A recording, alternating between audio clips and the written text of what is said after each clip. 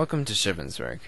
Shippensburg is the oldest community of the Cumberland Valley, and it's the second oldest west of the Susquehanna River.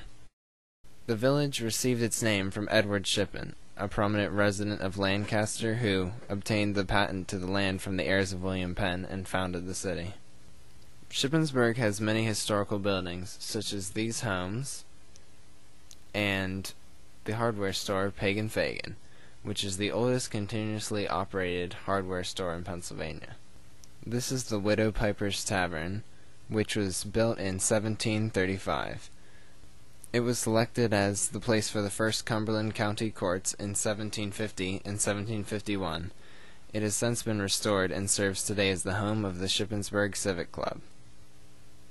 This is the Shippensburg Public Library, which was originally the home of Dr. George H. Stewart. It contains approximately 45,000 books. This gazebo covers the original town spring. And this is the Middle Spring Church. It was founded in 1738 by pioneer Scotch-Irish Presbyterians, and until 1781 it was located at the nearby cemetery, but the current one was built here in 1847.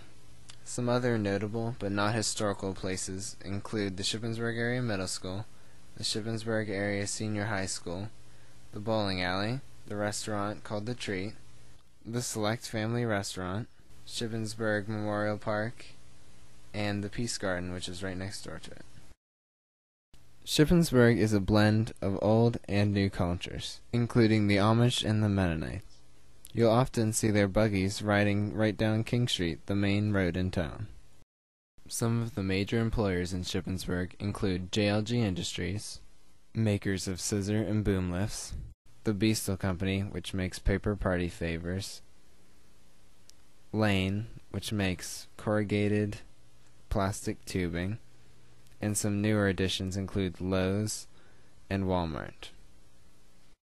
As Shippensburg moves into the 21st century, some of its small town character is lost as modernization occurs. With this modernization comes new places for people to live. But, unlike in the past, houses are no longer being built within town borders where people can easily walk to nearby businesses, and are often in rural areas which are being sold off by the acre. Here at Prologis is one of the more graphic examples of this expanse into the farmlands. I've sped up this video times three to give you an idea of the vastness of this proposed 1.4 million square foot warehouse. One day, there will be trucks driving in and out of this area 24 hours a day, but it will never grow crops again.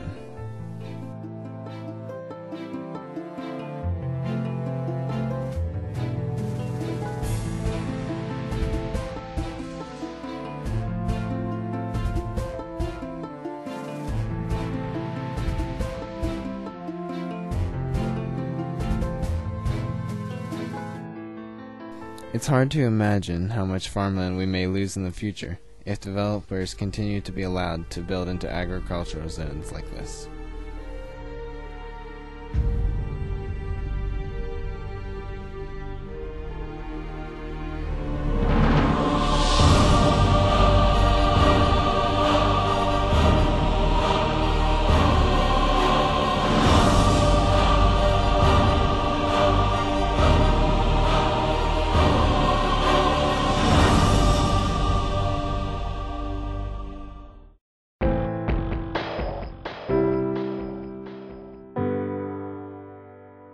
As Shippensburg continues to develop, its citizens can preserve and protect the rural character of the town.